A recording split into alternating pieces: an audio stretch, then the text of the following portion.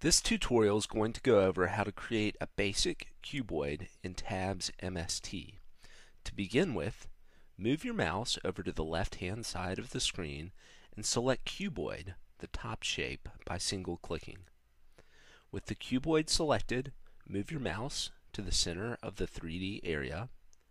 Click once and hold down your mouse button, dragging out to create the shape's base. When you release the mouse, and drag your mouse up,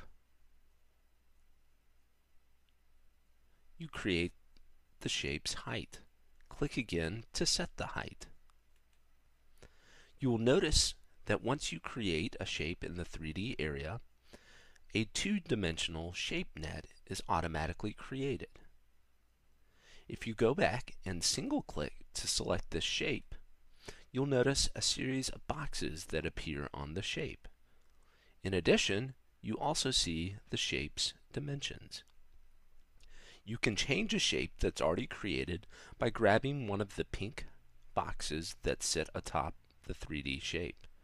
Click and hold, moving your mouse up or down to scale your 3D shape.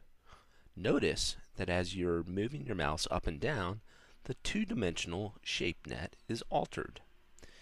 If you create a height of a 3D shape that extends beyond the print view boundary areas.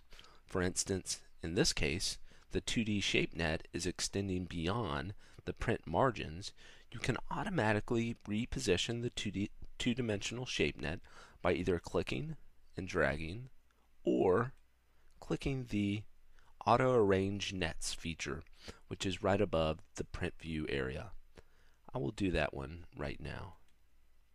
Notice the two-dimensional shape net is now within the print margins.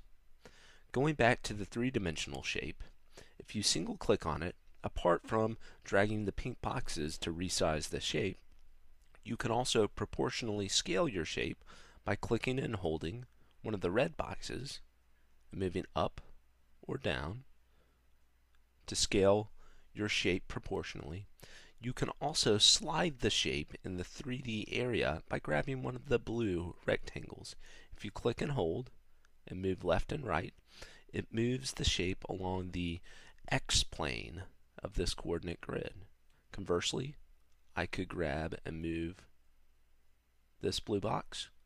I could also grab and move this one or this one. In addition to these parameters, if you right click on the 3D shape and go down and choose parameters, a pop-up box appears. In this pop-up box, you can specifically select the width, the height, and the depth of your 3D shape.